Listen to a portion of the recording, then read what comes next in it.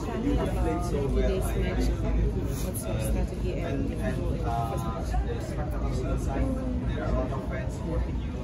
Actually, I was very, very nervous in starting. Yeah, because this is a final. Yeah, so much different uh, between the studies match and this match. Yeah, but still, the maybe third game and fourth game, my nervous is something yeah better. So yeah, pretty still okay. What do you think about the tournament in four days? Are you uh, enjoying this? Yes, of course, I'm very enjoying and this is very good experience for my badminton career. Can you tell us about your team? How how is your team and your like,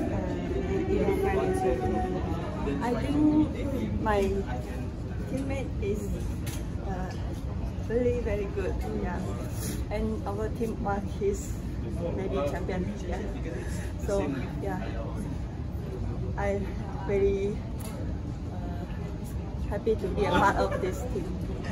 Okay, so cover. Can you spill about your tournament you're enjoying? Next tournament. One, two, Next tournament. After this, oh yeah, next tournament, my next tournament is Kumamoto, Japan Masters, and China. Asian Tour. Yes, yes. Okay, thank you. Thank you. Thank you,